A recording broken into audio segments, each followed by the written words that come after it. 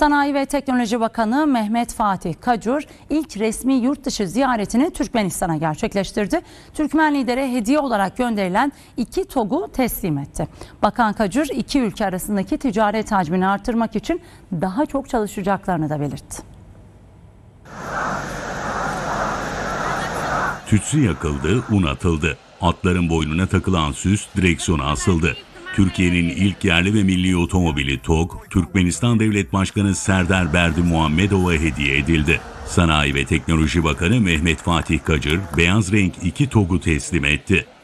Türkmenistan'da bulunmamızın bir nedeni Sayın Cumhurbaşkanımızın takdiriyle e, Türkmenistan Halk Meclisi Başkanı ve Türkmenistan Cumhurbaşkanı'na e, hediye edilmek üzere TOG araçlarını buraya getirmekti. Türkmenistan'da kurulmakta olan Arkadağ şehri aslında yeni nesil teknolojilerle donatılacak ve çevre dostu yeşil bir şehir olarak inşa ediliyor olacak. E, bugüne kadarki inşa çalışmaları bu bakış açısıyla gerçekleşti ve biz inanıyoruz ki Türkiye'nin milli markası TOG ata toprağına çok yakışacak. Türkmenistan'a ata yurdumuza getirdiğimiz TOG araçları e, ilk beyaz seri üretimden e, çıkan araçlar. E, bu da bizim için ayrı bir gurur, ayrı bir onur kaynağı oldu. Sanayi ve Teknoloji Bakanı Mehmet Fatih Kacır da Türkiye Odalar ve Borsalar Birliği Başkanı Rifat Hisarcıklıoğlu, Türkmenistan'da akıllı şehir konseptine uygun inşa edilen Arka Dağ'ın açılışına katıldı.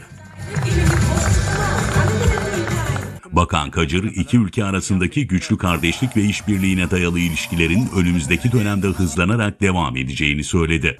Aşkabat Havalimanı'nda 25 kilometre mesafede yer alan ve tamamlanması için bakanların, sanayici ve girişimcilerin seferber olduğu Aşkabat Akıllı Şehir Projesi 3,5 milyar dolara mal oldu. Türk yatırımcıların bu ülkede gerçekleştirdikleri işbirlikleri ve yatırımlar Türkmenistan'ın kalkınma yolculuğunda e, bizce çok kıymetli bir sorumluluk üstlenmelerine vesile oldu.